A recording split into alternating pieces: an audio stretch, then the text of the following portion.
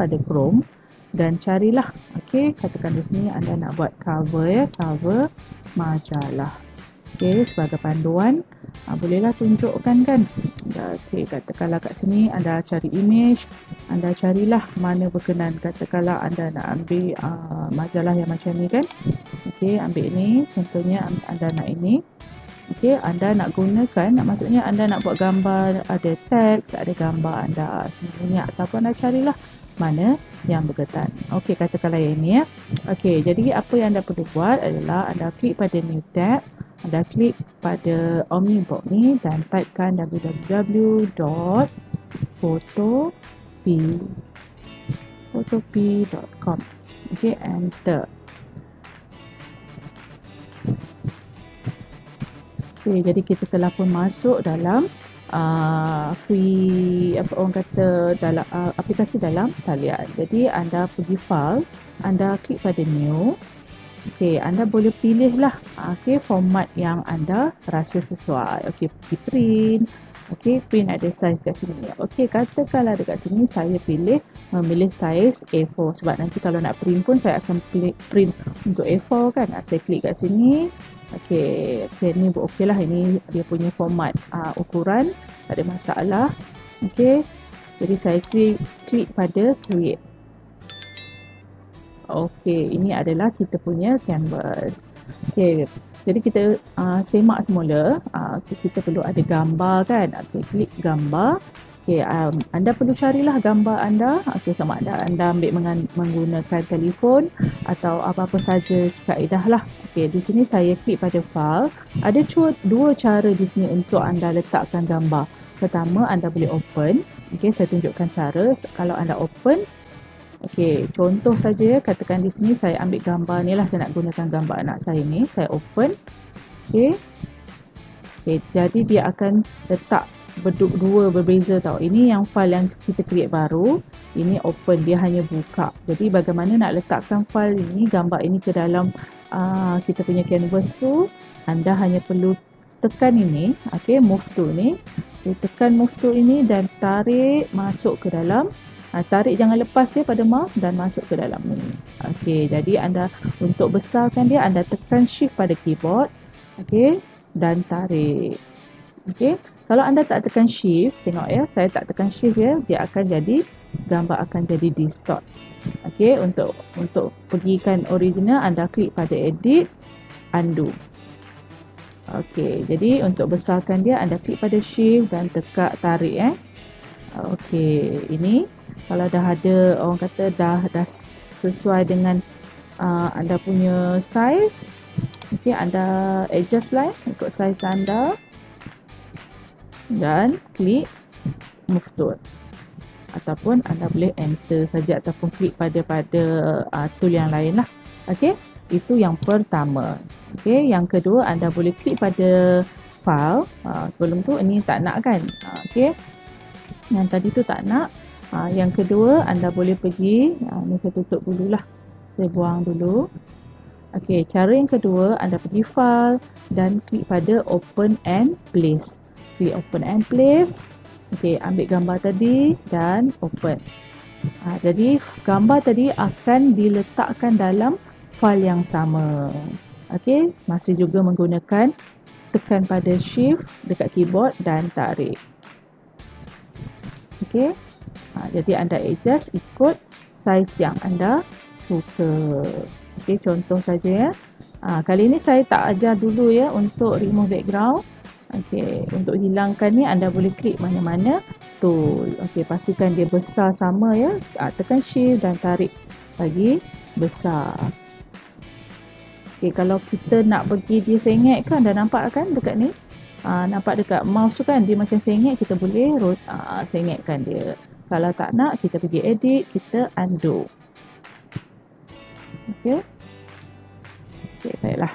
Ah, okay, kita tak nak hilangkan uh, okay, itu sajalah okay. jadi kita akan bekerja dengan uh, layer okey jadi sekarang kita tengok gambar tadi kita nak letak glamour perkataan glamour okey bagi anda boleh nak tekan mana anda klik pada T untuk meletakkan uh, perkataan atau tulisan uh, klik pada T Jadi anda boleh uh, klik pada ni, anda boleh nampak ni kan kat sini kan. Uh, layer nampak ni kat sini. Anda boleh typekan. Typekan majalah. Okey. Uh, okay, kalau kita tak nak ya uh, apa uh, tak nak dia macam bengkok-bengkok macam ni, uh, control Z ataupun edit, undo. Okey, klik pada tekan pada shift. Okey dan anda boleh tarik tarik dekat uh, penjuru dia. Uh, Okey, tarik pada penjuru. Okey, dah. Sekarang ni anda nak tukar warna. Klik masih lagi pergi dekat tool ni, type tool ni. Okey, highlight semua macam mana anda guna uh, word semua tu. Okey, boleh tukar warna. Dekat sini ada warna. Okey, anda boleh pilih lah mana satu-satu warna kan. Okey, kalau nak sama kat sini warna pink. Okey, anda boleh pilih pink pink kan mana pink kat sini kan. Uh, okay klik kat sini. Dan okey. Uh, nampak kan kat sini kan? Okey anda boleh letak. Okey. Okey boleh kan dekat sini?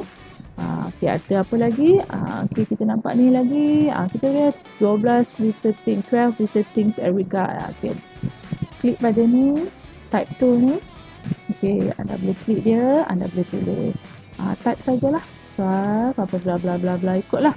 Okey kalau nak kecil anda klik pada move tool. Anda klik pada sheet tekan shift dan kecilkan eh. Okey shift kecilkan. Okey boleh tak diubah saiz boleh tak ada masalah. Okey. Highlight semua dekat sini atas ni ada saiz dia.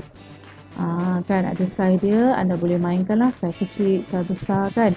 Ini kalau anda uh, katakanlah uh, for, uh, apa anda ada saiz tertentu pada font anda boleh letak dekat sini. Uh, kalau tak untuk macam saya untuk cepat saya hanya tekan shift saja tarik sajalah kan macam itulah contoh saja ya. Uh, okay, nak tukar warna pergi balik tag pergi type tool highlight semua dan tukarkan warna dekat sini. Okey. Okay, dan okey. Begitunya lah seterusnya lah kita letakkan tag Ha, okey.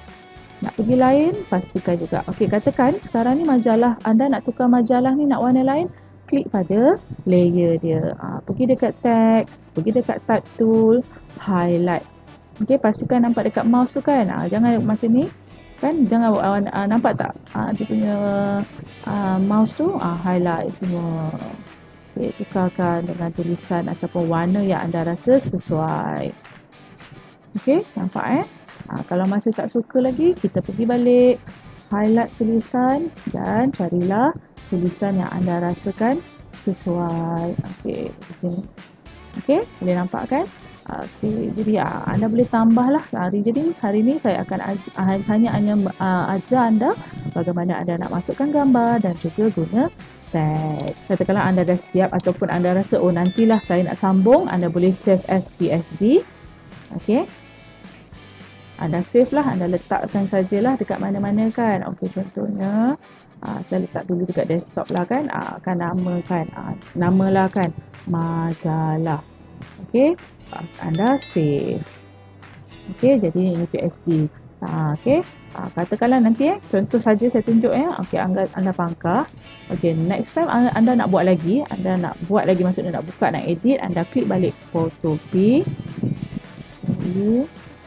Okey www.photo ha, klik sini. Ya anda pergi file anda boleh open semula dan boleh design semula. Ambil ni open.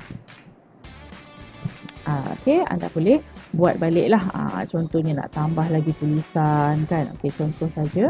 Nak tambah tulisan ok klik sini. Ha, tambahlah tulisan bla bla bla bla. Ok nak kecilkan highlight balik Ha, kat sini ada font dia, anda boleh kecilkan. Okey, nak tukar warna, anda boleh tukar warna. Okey. Okey. Katakanlah semua dah siap, dah tak nak edit, anda boleh pergi file, anda boleh pergi export as dan anda pilihlah format yang anda rasakan sesuai. Okey, bagi saya, saya suka, anda boleh pilih. Bagi saya, ah, saya akan pilih PNG ataupun JPEG. Okey, tak ada masalah. PNG besar-besar, JPEG pun boleh tak ada masalah. Okey, jadi anda boleh save. Okey, namakan saja. Open, ah save, sorry, save. Okey, katakanlah ini kan, ini gambar, anda klik dia. Uh, jadi dia akan buka lah. Uh, jadi akan jadi gambar sekeping. Boleh ya? Jadi uh, saya rasa itu sahaja perkongsian saya pada hari ini bagaimana anda boleh menggunakan Photopea untuk masukkan gambar dan letakkan tag. Okey, akhir kalam daripada saya Cikgu Linjak. Hidup berilmu dikongsi bersama untuk manfaat kita semua. Assalamualaikum dan bye-bye. Jangan lupa subscribe tau.